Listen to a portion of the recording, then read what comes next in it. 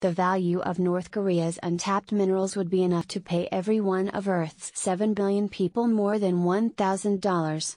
Scratching the surface of the secluded nation reveals vast deposits of more than 200 minerals including magnesite, zinc, copper, limestone, molybdenum, iron and gold worth more than $7 trillion, Quartz reports.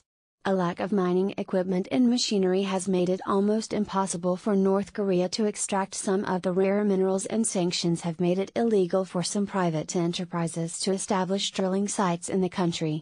Once the minerals are out of the ground North Korea still has to offload them to potential buyers which are another hurdle.